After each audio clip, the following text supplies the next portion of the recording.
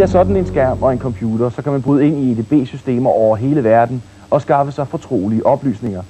Det har danske hackere gjort flere gange og skaffet sig meget følsomme oplysninger. I politiets efterretningstjeneste har en gruppe hackerjæger derfor i overvis overvåget hackerne og deres metoder.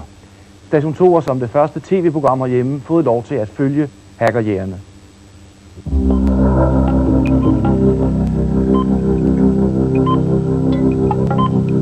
Hackerangrebene kommer konstant mod både offentlige myndigheder og private virksomheder.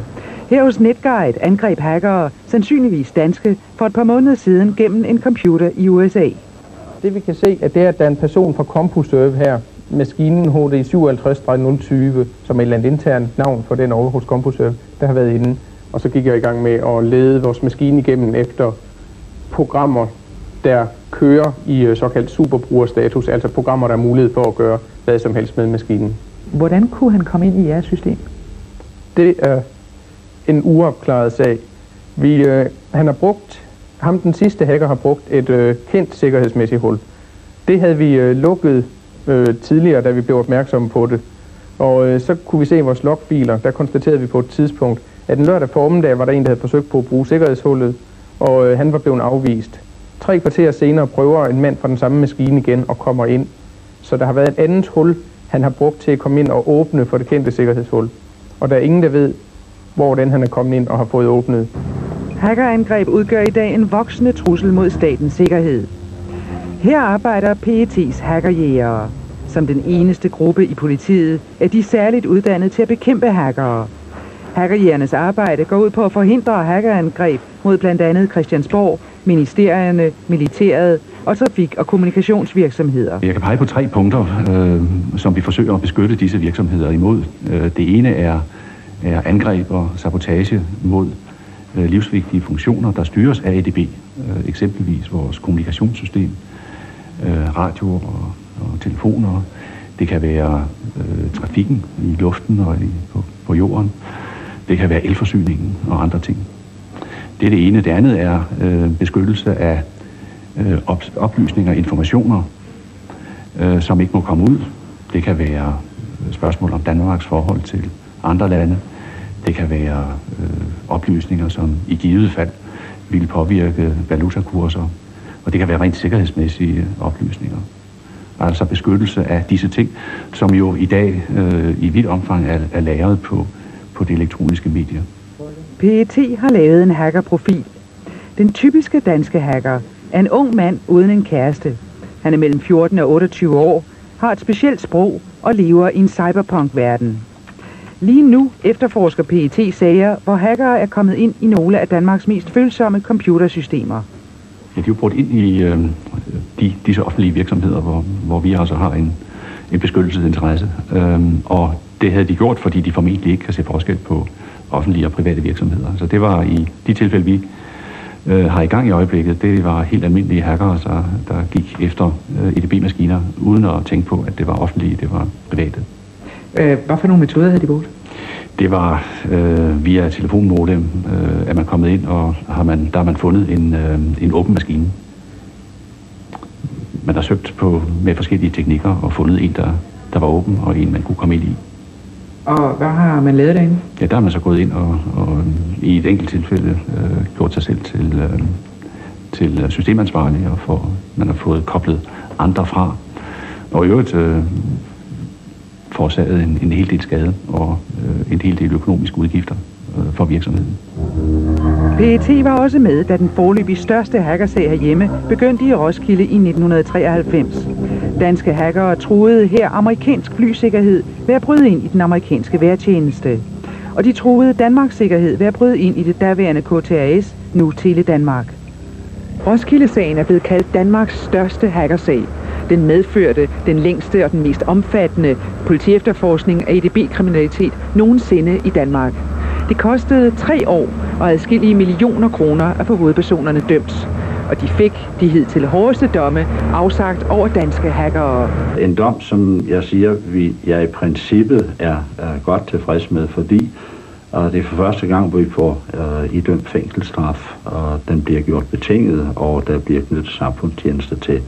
Men øh, øh dommen, og synes jeg, er, er god. Og øh, dermed så synes jeg altså også, at det står i rimelig forhold til de ressourcer, der har været an, øh, anvendt derpå. Roskilde-sagen er så omfattende, at den fylder to kontorer, og de sidste domme er endnu ikke faldet i sagen. Efterforskningen har givet politiet en helt ny indsigt i elektronisk kriminalitet. Færden over øh, grænser er noget, der sker på sekunder. Og øh, når vi skal dokumentere eksempelvis, at man har været inde i et anlæg i et fremmed land, så skal vi samtidig også være i stand til at dokumentere, at der er et sammenhæng tidsmæssigt fra det øjeblik, man er øh, på vej fra Danmark, til man går ind i det pågældende land. I Roskilde-sagen fik politiet hjælp fra denne mand, som blandt andet arbejder for CERT, en international elektronisk ambulancetjeneste. Vi har ekspertisen på at undersøge maskinerne, undersøge logfiler, lede efter skjulte bagdøre. En bagdør, det er et program, der gør, at man til hver en tid kan komme tilbage til computersystemet, selvom man har rettet op på sikkerheden. Øh, vi har det her internationale net, hvor vi kan trække på øh, samarbejdspartnere, som kan gå ud på nationale EDB-systemer. Det er nemlig sådan, at når man har indbrud på et system, så er det sjældent kun lige fra Danmark, men det er ofte igennem et antal lande for at sløre, hvor man kommer fra, og for at vanskeliggøre eftersporingen. Så hele den her proces med at følge alle de maskiner, alle de netværk, hacker bruger til, som springbræt for at komme tilbage til den maskine, de egentlig ønsker at bryde ind på, jamen det er her, vi går ind og hjælper rent teknisk med at, at, at følge det spor.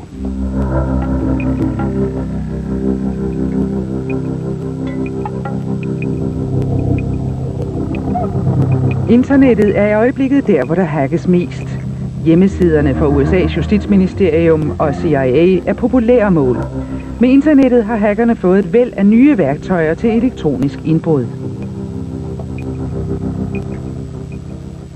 Ja, der er jo kommet eksotiske øh, metoder, som øh, såsom sniffing, hvor man sniffer efter, efter passwords. Der er øh, spoon, spoofing, øh, der er øh, sinfloating øh, og, og andre, som man ikke kendte for, for bare et par, et par år siden.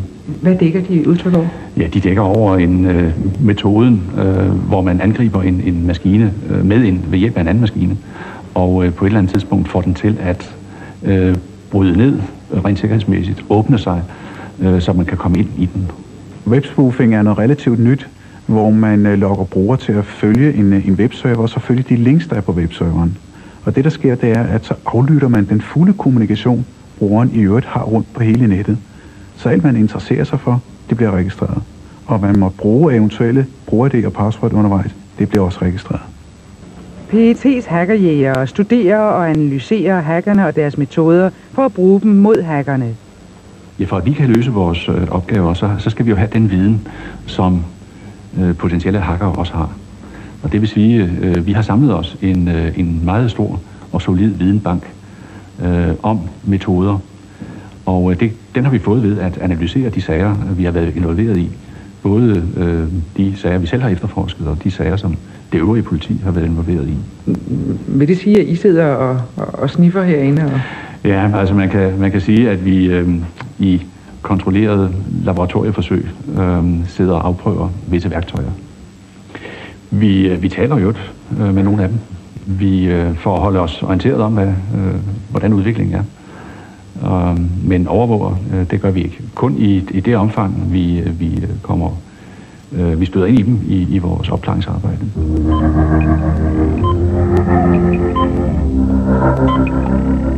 Internettet bekymrer politiet, for på nettet er hackermetoderne tilgængelige for alle, og nettet, som er umuligt at patruljere, er et slagraffenland for kriminelle.